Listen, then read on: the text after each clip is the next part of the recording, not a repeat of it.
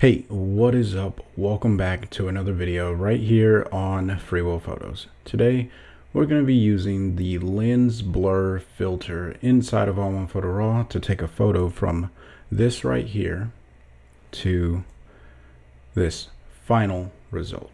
So stay tuned and let's go.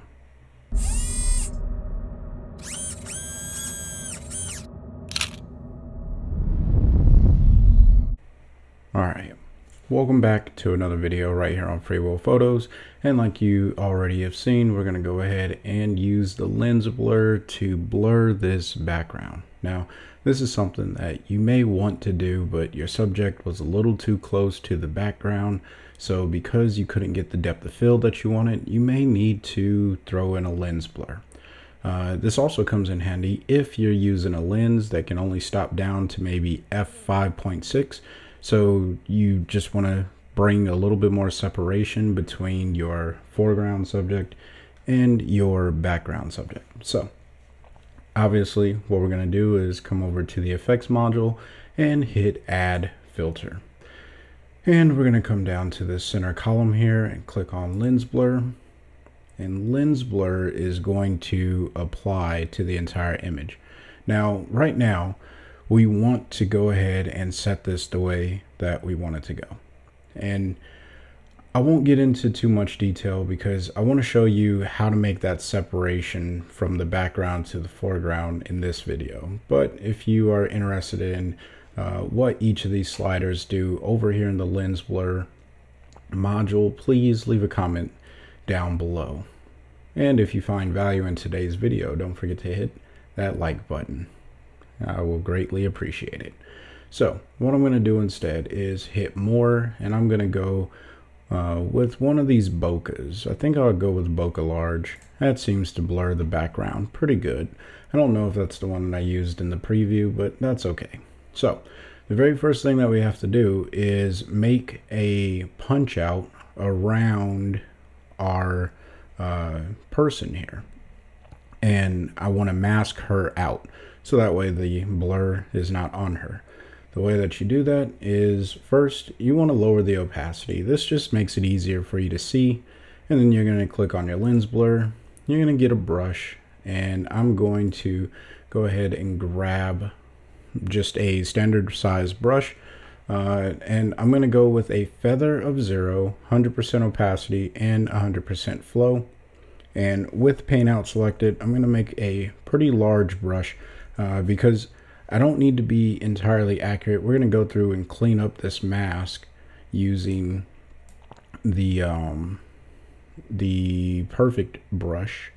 But what I want to do right now is really just get rid of as much of this blur as possible. And I'm going to do a really fast job here. But you're going to want to take some time to go through and make sure that you get the uh, the blur removed the way that you would expect it to be. Um, and, you know, just take some time to get the end result that you're really looking for. Now, I'm using a mouse right now. I did do this earlier with a Wacom tablet and it was a little bit more intuitive, but I don't know if everyone's using a Wacom tablet, so I'm just going to use a mouse. Uh, because I think most people have a mouse accessible to them. Uh, so that should work. We're going to go ahead and hit O and look at our overlay real quick. Let's go ahead and do that. Okay, so got a pretty rough selection of the uh, subject. And now what I want to do is zoom in just a little bit further. We're going to go ahead and hit Command plus. This is going to zoom us in without ever having to leave our uh, tool. And then I can see that I missed a little bit around her face here. So I'm just going to go right. Sorry, my mouse ran into my keyboard. All right. I'm going to go right around here and I'm just going to take it off of her glasses as well. Hold down the, not, not command spacebar. There we go. Hold down just spacebar and click and drag. We'll go ahead and get it off of the logo here. And this is actually doing a pretty good job. I won't complain too much. Now, obviously, I'm getting this glow up here, and I don't want that. And this is why I'm using a hard brush, just going around the edges. Uh, so I can get as much of that glow from her hoodie because as it blurs, it spreads it a little bit. And uh, there's ways of offsetting that if you want. You can probably mess around with the optical quality or whatnot. But again, I'm not going into the features. So what I'm going to do is go around because I want to minimize as much of that glow as I can. And like I said, I'm going to use the perfect brush to really get a more precise cut out of her. Uh, but what I wanted to do was get rid of a lot of the filter um, up front. It just makes it easier in the back end when you know you're you're really trying to fine tune and refine your mask.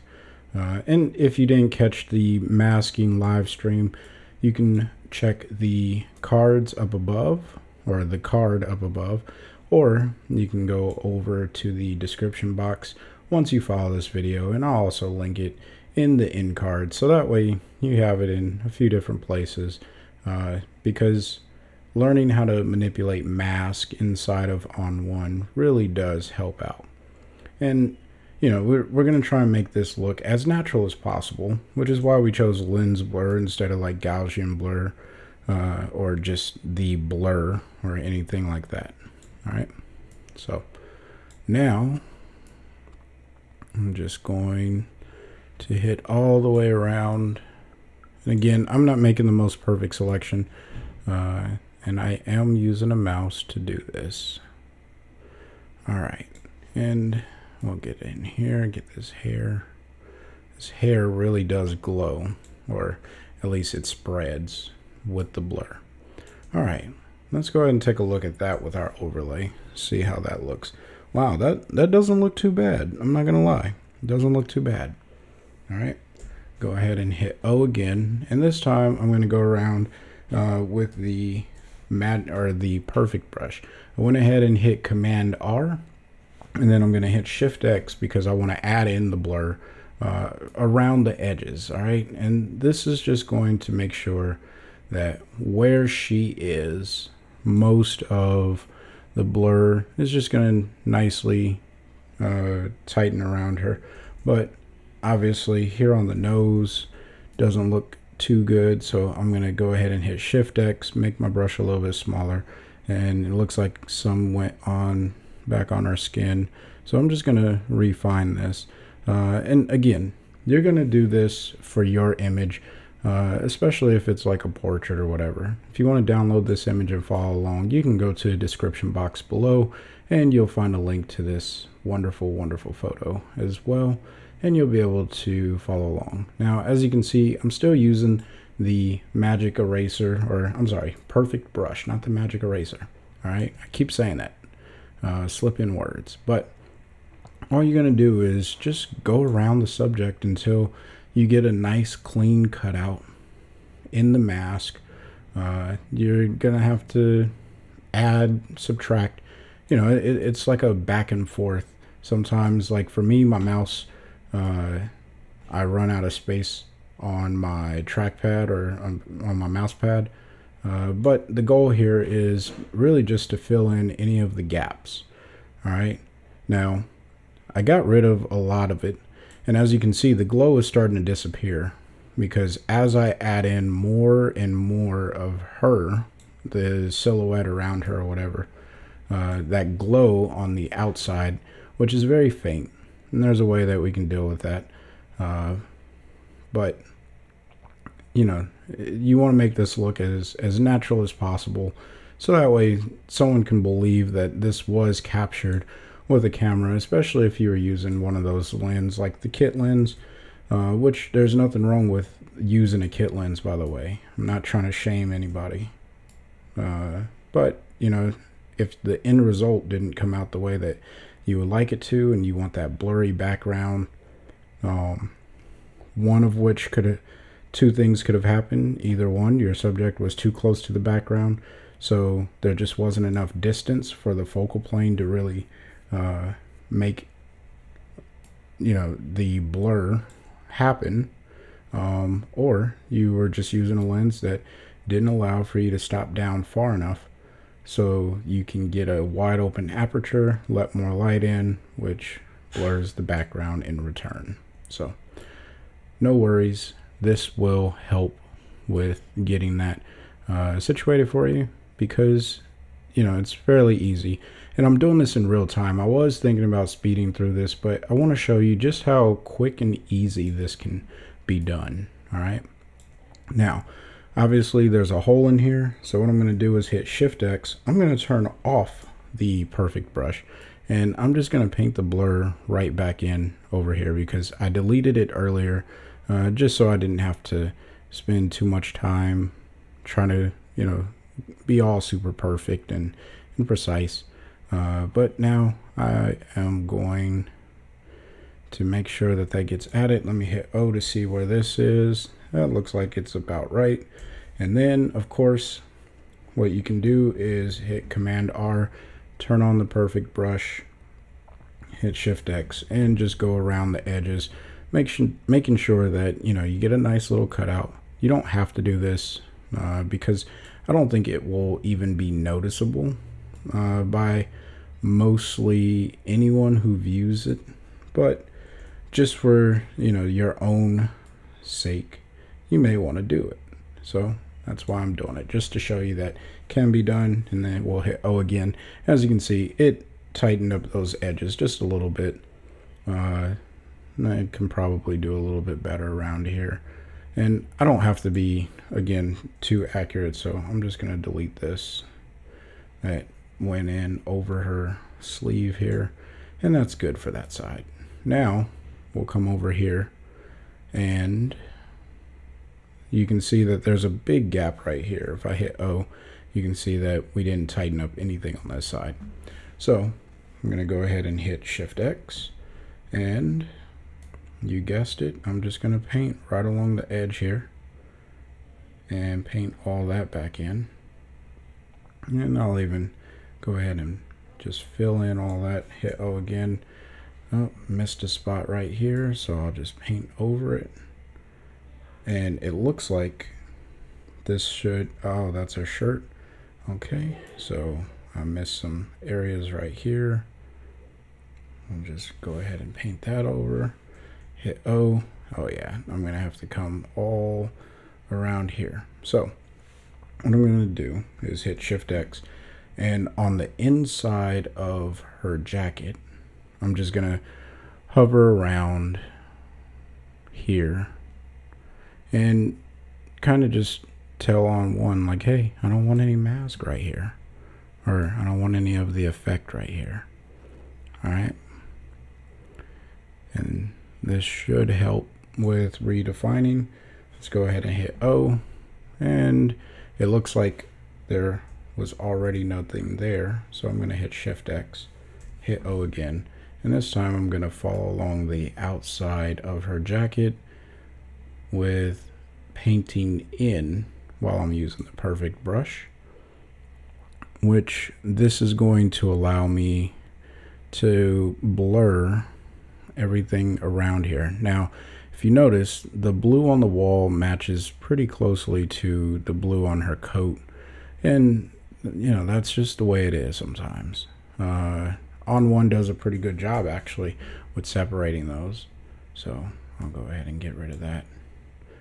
And I'll go ahead and come down here,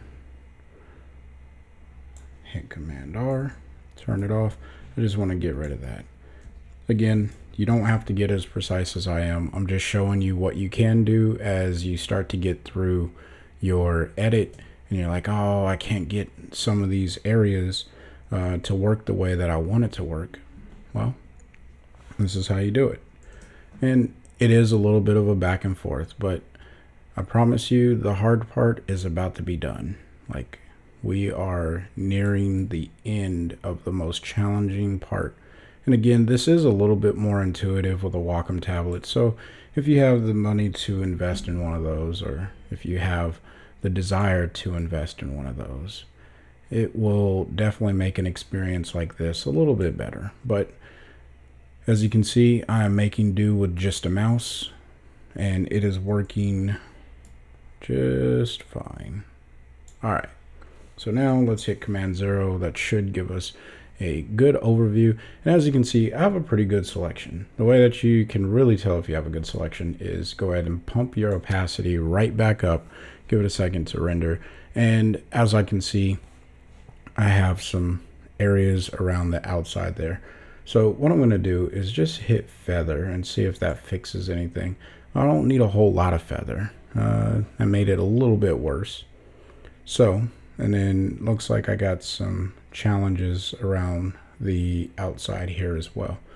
But I'm not going to worry about that right now. Instead, what I'm going to do is just bring down my feather a little bit more. And we're going to go on to the next step. Now, again, you're going to want to take time to fix these types of issues. Uh, and all it is is a huge back and forth. I, oh, meant to hit Command plus. I was hitting Spacebar plus. That does nothing. Um, we'll go ahead and delete that. And you know, this is literally what I do. All I'm doing is rub, rolling across here uh, with the, and that did not do what I wanted it to do. Is going across the edge here. Um, and I guess it would, at this point, I'm a little late on telling you this, but I'll show you here in a second. We'll just go ahead and paint over there and we'll erase. As you can tell, I have my feather down uh, when I'm using the command, or I'm sorry, the perfect brush. But if you look at my threshold, I have my threshold pretty high. And the reason I have my threshold high, and my transition low, is I wanted to sample as much of the color as possible. And since this is all blue, I just wanted to find anything that's similar to the tone that I'm painting uh, over with the center. I just want that to get added in uh, or removed from, just like I'm doing here. I'm removing the uh, blur from the hood as I just refined that a little bit. Now, you could use Refine Edge, doesn't always work the greatest, which is why I resort to just using the perfect brush, taking my time, and I'm actually okay with going a little bit over like this, right? Uh, especially in the problem areas. I'm okay with going a little bit into the background just so I can get a clear picture of what I need to paint over. And this time I'm going to make my brush just a little bit larger and I'm going to paint right above here. Again, I have a hard edge on this brush. There's no feather. So that should work just about right. And I'm going to go with that. So hit Command 0 brings us back to a full screen version.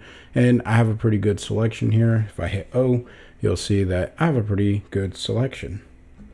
There's like a weird spot down here.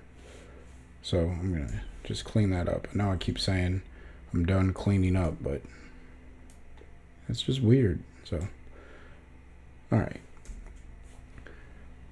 Now, what I'm going to do is click on the masking bug. And this is where this effect is really going to come to life, I think. Now, you could absolutely just leave it like so and go on about your day. Uh, I don't think anyone will say much about it. However, it does look a little odd because it doesn't naturally fade. So what you want to do uh, is grab the masking bug and go to linear bottom and what we're going to do is fade most of this background and then have a very, or, or have less of a fade down here at the bottom. So the way to do that is you click all the way at the bottom and then you just drag this transition point. Uh, and the reason why you click at the bottom is you really only want one transition point. Uh, now you can move your transition uh, because this right here represents 50% of whatever the effect is, right? Uh, so really quickly, this is 100% of the effect applied. This is uh, 99 all the way down to 50 and then this will be 50 all the way down to zero. So everything on the bottom half of this means that there's no effect applied. This is just what the original photo looks like. I don't necessarily want that for this photo, which is why I drag this all the way down and I bring my 50% mark uh, essentially into the bottom uh, or lower than the bottom third. So whatever this is, you know, just down towards the bottom. And I play around with this line to figure out where I want that transition to really start. Uh, where do I want it to be 100%? Maybe I want it to be 100% at this parallel line in the wall. So I can do something like that. Uh, or maybe I do want most of the background blurred. And then I'm just going to bring it up to here and transition this a little bit more so that way it's not so blurry. And, you know, that looks a little bit more natural.